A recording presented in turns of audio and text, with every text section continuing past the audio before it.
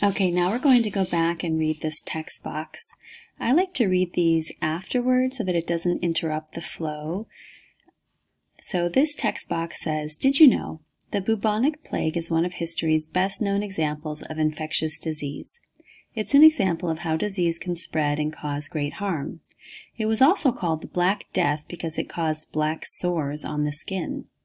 In the mid 1300s, the bubonic plague spread across Europe some people thought it spread by breathing foul air. Scientists now know that bacteria called Yersinia pestis caused the plague.